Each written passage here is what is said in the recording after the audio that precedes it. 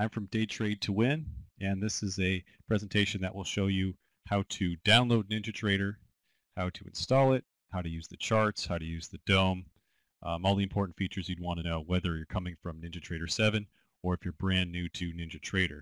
Let's say that you are not able to trade during the morning or you've come back from work and you want to replay the market data as though it's live.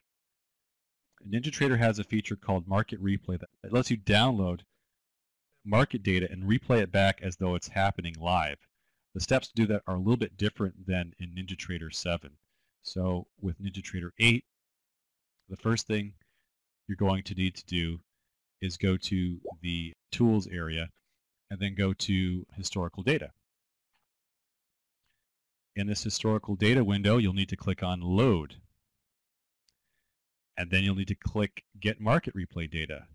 The first thing we're doing here is we're downloading the data so that we can play it back. So specify the date that you want to download. Uh, for example, if I want to download yesterday's date, it's automatically filled out here for me. Uh, now let's click on the, the market that we want to download it for, the E-mini, and click on Download.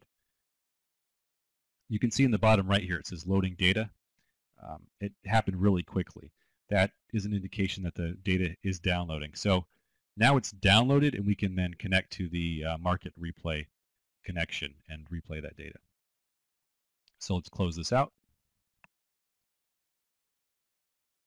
Playback connection. In NinjaTrader 7, this market replay connection was simply called market replay. In Ninja 8, it's called playback connection.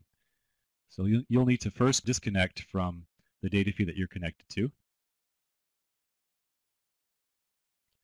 And then connect to the playback connection.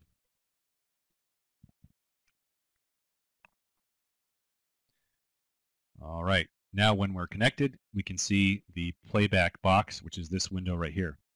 This lets us control the market activity. Let's make sure that chart is visible. Okay,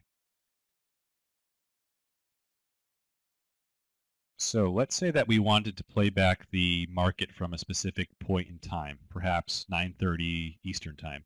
So you can click and drag the slider to that specific time. You can see how the time changes in the upper right corner of this playback window.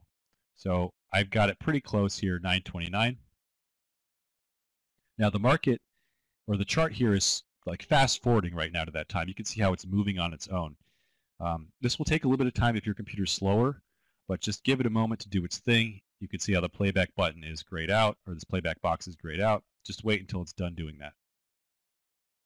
Thank you everyone for attending, and if you have any more questions, uh, let us know.